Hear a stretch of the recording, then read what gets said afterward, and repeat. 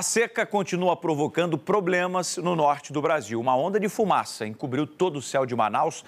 Veja só como ficou a capital do Amazonas nessa manhã de sexta-feira. Quem acordou cedo não entendeu nada.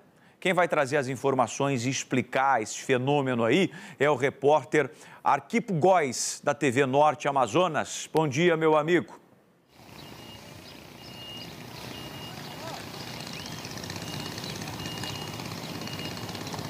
Oi, Darlison, bom dia para você, bom dia, Felipe, e a todos que estão nos acompanhando agora. Olha, para você de casa que está me vendo agora utilizando uma máscara, não pense que é por conta da Covid-19, não, viu? É por conta da fumaça, que já é pelo terceiro dia consecutivo que encoberta aqui a capital amazonense, aqui Manaus, as zonas sul e centro-sul aqui da capital, os prédios, quase já não é mais possível ver, viu? Alguns pontos turísticos aqui da capital, como o Teatro Amazonas, a Ponte Rio Negro, esquece, viu? Não tem como já ter a visibilidade para poder conseguir ver. Agora, nesse momento, você pode ver aqui atrás que, olha, a floresta, as árvores que estão aqui estão totalmente debaixo de fumaça, viu? Não pensa também que é a lente da câmera que está ruim, é a fumaça que nesse momento está aqui é, encobertando toda a capital. É bastante complicado para respirar. Algumas universidades tiveram que suspender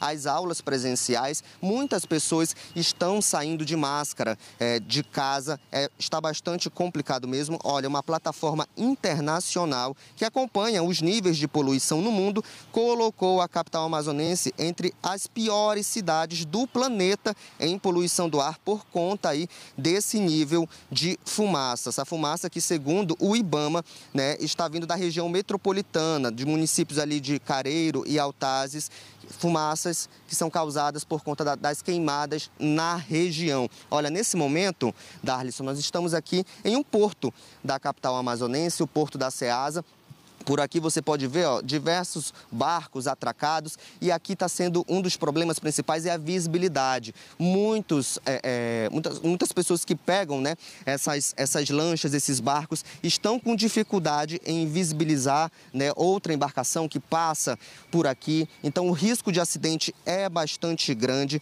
Há brigadistas do Corpo de Bombeiros do Amazonas que estão nesse momento tentando primeiro localizar aonde que está acontecendo esses focos de queimada e depois conseguir chegar até esse local para tentar apagar. De acordo com as autoridades, o estado do Amazonas registrou 9 mil focos de incêndio entre setembro e outubro com o que fez né, o Estado decretasse situação de emergência ambiental. Então eu deixo vocês aqui com essas imagens aqui de Manaus, bastante triste, né? Do outro lado ali do rio já fica a floresta, outros municípios, mas já não é possível ver por conta dessas queimadas aqui na região. Eu volto com vocês aí no estúdio. É a situação delicada, tanto que algumas aulas foram suspensas. O indicado principalmente para quem tem problema respiratório, até mesmo idosos e crianças, é ficar dentro de casa se protegendo, porque sair com essa fumaça aí pode ser agravar ainda mais os problemas e atrapalha inclusive a navegação,